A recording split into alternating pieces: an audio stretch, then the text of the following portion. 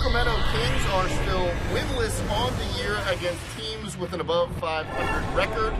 This afternoon, they're taking on one such team, the Los Angeles Clippers. Chris Paul, the owner of a 13 straight double double streak to start the season. That's an NBA record. We start you off in the second quarter with the NBA record for four point plays. At least it's the record holder, Jamal Crawford, and he does it again. 38 18 Clippers up early.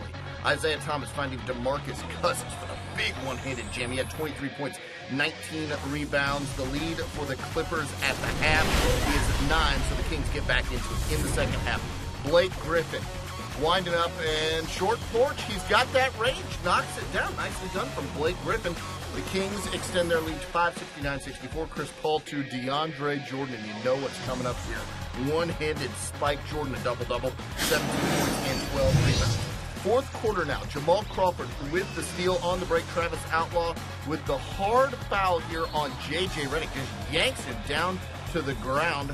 The play was ruled a flagrant two, and Outlaw was ejected from the game. You see the refs conferring right there. Later, fourth game tied at 82.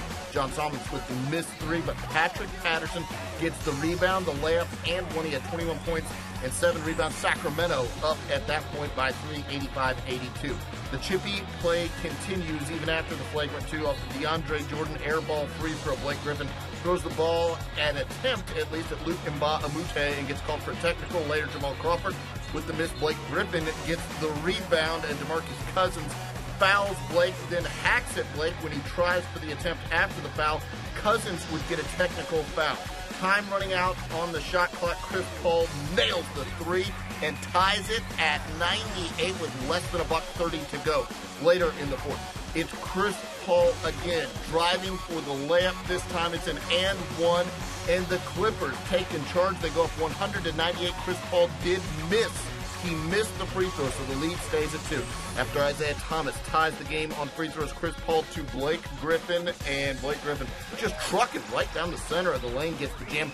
He had 16 points and 10 rebounds. Chris Paul at the line with the game you see right there. Clippers up by one. He had already made the first free throw, misses the second free throw.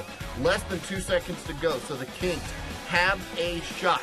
They inbound the ball. Who do they go to? Well, they go to their big young superstar, DeMarcus Cousins. Gets a shot off, but not much of a shot there.